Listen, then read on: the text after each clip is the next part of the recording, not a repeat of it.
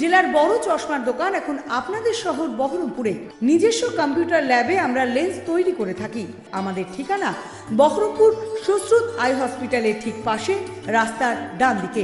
Everest অপটিক্যালে আপনাদের জানায় সাদুর আমন্ত্রণ।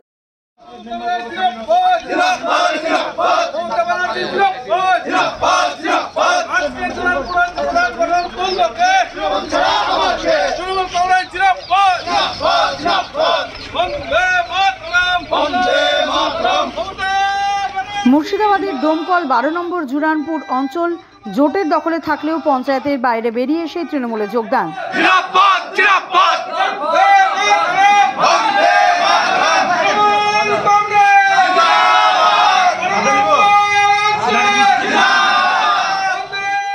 ওই পঞ্চায়েতে মোট সদস্য ছিল সতেরো জন। তাদের মধ্যে তৃণমূল পেয়েছিল মাত্র তিনটে, কংগ্রেস পেয়েছিল আটটি এবং সিপিআইএম পেয়েছিল ছটি।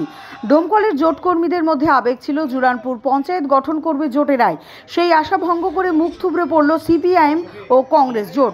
প্রধান উপপ্রধান জোটের পক্ষে গঠন হলেও পঞ্চায়েতের বাইরে বেরোতেই সঙ্গে সঙ্গে তৃণমূলের দিকে পা বাড়ালেন তারা।